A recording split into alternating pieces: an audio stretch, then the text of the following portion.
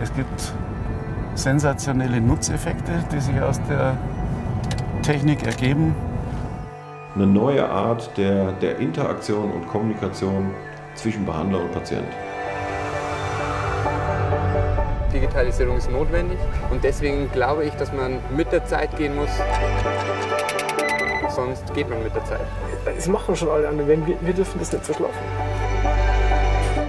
Ich glaube, das ist die Zukunft.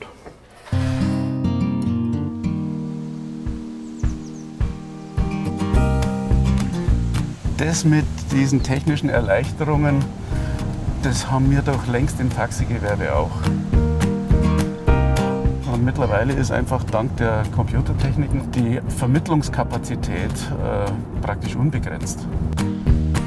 Das ist einfach nötig, dass wir auf verschiedenen Beinen stehen und da haben wir eben die automatisierte Auftragsvermittlung über die App, die in den Computer der Zentrale geht. Natürlich kann man immer noch ein bisschen schneller werden. Da fällt uns auch nichts aus der Krone, wenn wir da selber uns ein bisschen an der eigenen Nase packen. Der Vorteil durch die Digitalisierung, indem ich jetzt dann mal einen Laptop dabei habe, ist natürlich ganz klar, dass ich alle Pläne sofort abrufen kann. Sprich, die Pläne sind auf dem aktuellen Stand, wenn ich vor Ort draußen bin. Ist zum Beispiel sehr, sehr viel wert, wenn man eine Störung hat.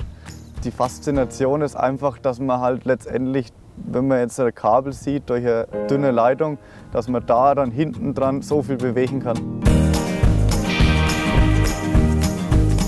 Ja, das erste Wort, was einem zur Digitalisierung einfällt, ist natürlich eine Chance. Alle reden von Chancen.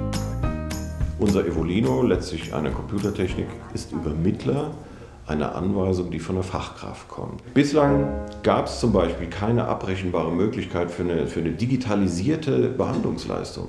Das haben wir mit der Genossenschaft geändert. Also wir haben schon gesehen, dass wir mehr zum Kunden kommen müssen, der will halt vom, mit dem iPad auf, dem, auf der Couch zu Hause äh, sich wenigstens informieren und da wollten wir eigentlich gleich von Anfang an dabei sein. Wir wollen ja die Brücke schaffen zum Vorort-Webshop. Wir bieten da die Möglichkeit an, dass der Kunde sich das im Webshop bestellt und bei uns dann am Schalter abholt. Wir sind nicht vor Ort, äh, sagen wir bestimmt 80% Stammkundenanteil. Grüß dich.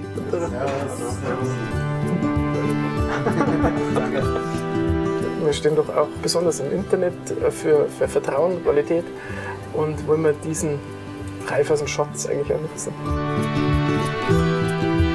Das Thema Digitalisierung nimmt bei uns einen relativ hohen Stellenwert ein. Wir merken, dass die Mobile Banking Zahlen bei uns zugreifen, die Fans auf Facebook steigen.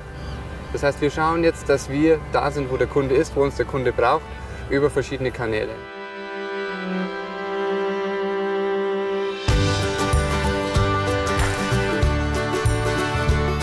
Kletterturm ist aus der Not geboren, weil die Gymnasiumturnhalle, wo er früher positioniert war, abgerissen worden ist. Und wir waren überwältigt, wie großzügig gespendet worden ist.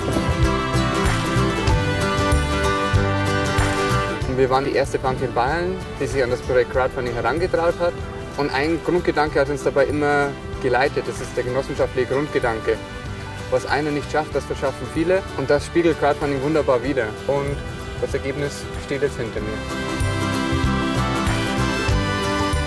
Eine spannende Idee, dass ein Internetprojekt irgendwie dann doch uns als Bank näher zu den Leuten bringt. Ich sage immer gerne, Technik alleine macht die Omi nicht glücklich und auch nicht gesünder. Ihnen ist wichtig, dass das, was auf der Straße anrollt, ein gescheites Taxi ist.